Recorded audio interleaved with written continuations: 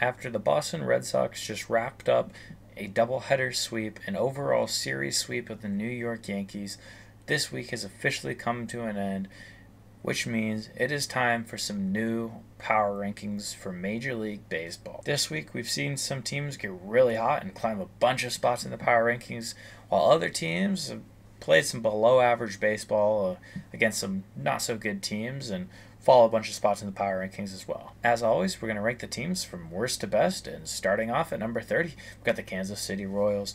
They're staying in the exact same spot from last week. They went 1 and 5 on the week, 19 and 52 record. Royals don't got nothing going for them. Staying at number 29, they won two games to start the week to get their seven game win streak up there, but then lost the remaining five games in the week. One, 2 and 5 on the week, staying at number 29, the Oakland A's. After going 1 and 5 on the week, they are down one spot. The Washington Nationals come in at number 28, 27 and 43 record. At number 27, we have the Colorado Rockies. They went 2 and 5 on the week, up one spot and hold an overall record at 29 and 45. The St. Louis Cardinals only two wins this week came against the struggling New York Mets. They're down one spot. The Chicago White Sox come in at number 25 after going 2 and 4 on the week. They are overall down two spots and hold an overall record of 31 and 42. Speaking of those struggling Mets, the Mets come in at number 24 this week after going 2 and 3.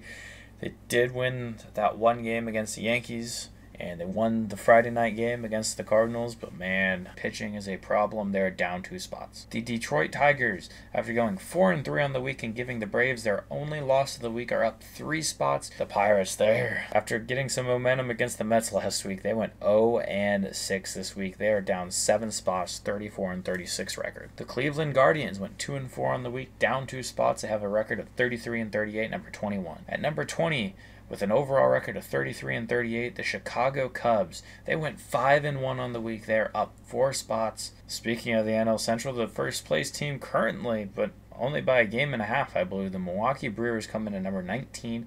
They went 3 and 2 on the week, up one spot. At number 18, we mentioned them at the intro. The Boston Red Sox have a 37 and 35 record. They just swept the Yankees, but they are down four spots, even though after going 4 and 2. But the teams that jumped in front of them, they are some good team. The New York Yankees, we just also just mentioned them. They are down seven spots after going one and four on the week.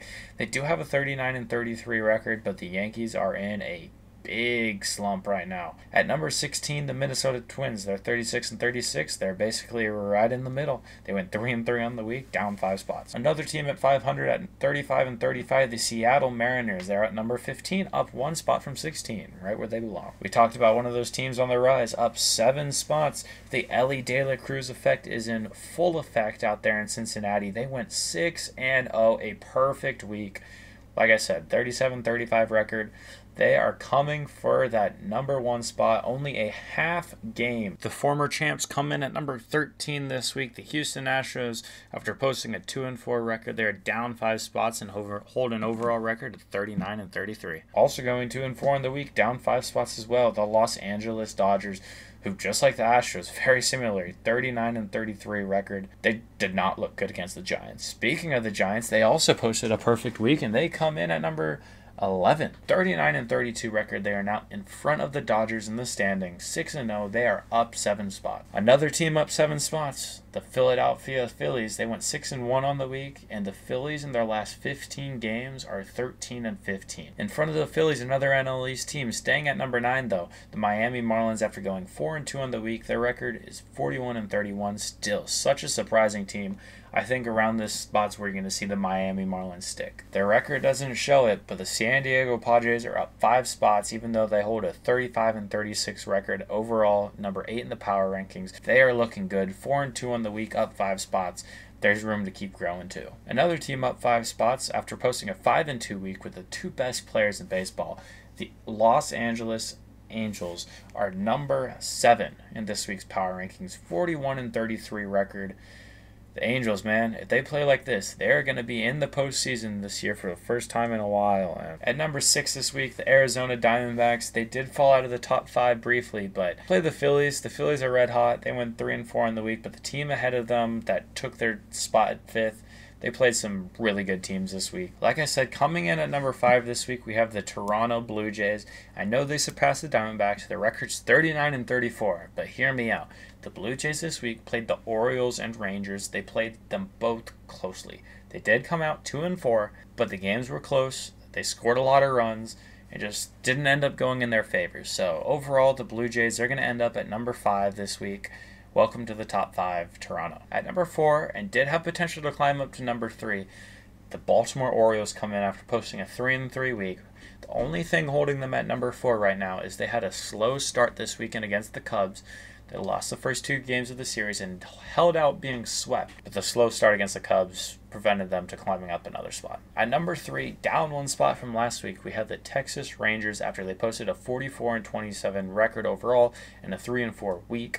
Like I said, the Rangers play the Blue Jays. They played them close. They won the last two games there, but they're down one spot. At number two, the surging Atlanta Braves come in of one spot. They went six and one on the week. Like I said, the Tigers gave them their only loss the Braves, man, I think they're threatening for the number one spot. They don't have a bad player on the entire roster, so the Braves look for them to be threatened for threatening for the number one spot next week. And then of course at number one, the best team in baseball all season, the Tampa Bay Rays. They went three and four in the week.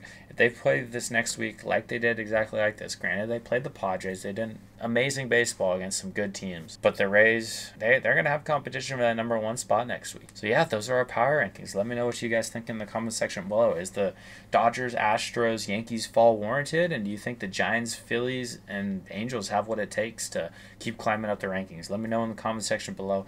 As always, hit that like button, subscribe. Come back next Monday for some more power rankings. I'll see y'all in the next one. Thanks for watching.